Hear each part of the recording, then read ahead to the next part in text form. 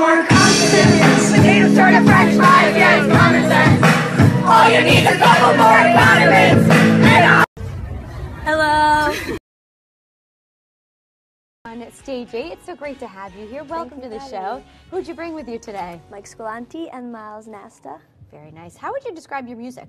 Um, I think it's kind of a mix between like childhood themes and like adult uh, situations. Kind of like the way you're dressed today, I suppose, Yeah, I right? guess. It goes Yeah, well with it. And I understand that uh, your video is doing really well. Um, I guess I have no idea. Yeah. What? No. Your hair. I love